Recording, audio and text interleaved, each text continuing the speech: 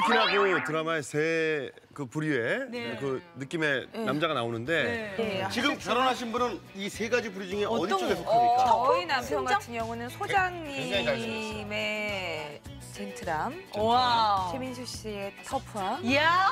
이창훈 씨의 귀여움, 우와. 자 이제부터 방송 아니에요. 아. 이제부터 방송 아니에요. 그래, 방송 끝났어. 귀여움을 가졌으면 좋겠어요, 정씨발.